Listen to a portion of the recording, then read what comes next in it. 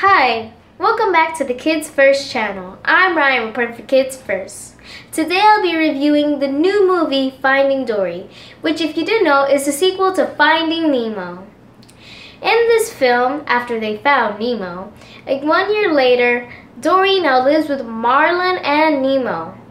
Dory, voiced by Ellen DeGeneres, suffers from short-term memory loss, which means she forgets pretty much pretty easily. Dory all of a sudden starts remembering stuff about her parents. She goes on an adventure with Marlin and Nemo to find them.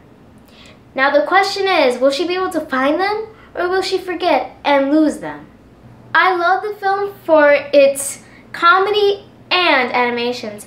I love the humor because it was very funny and I almost fell on my seat once because of the jokes. I also liked how it was also fun for adults, so it wasn't just for kids.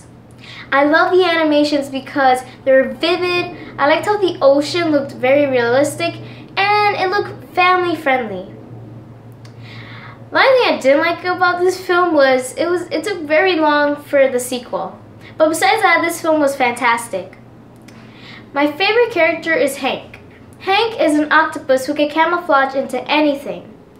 He helps Dory by guiding her all around the aquarium where they're at. I love Hank's character, Hank, which is voiced by Ed O'Neill, because I would love to have the power to camouflage into anything. In this film, I noticed that the characters you see in this film have some type of disability, and you see how they overcome it. And this is a very important message that's shown in this film. I give this film 5 out of 5 amazing stars. I recommend this to kids ages 4 to 18, and I think adults might like this as well. I also recommend this to people like action, adventure, children, comedy movies, and family movies.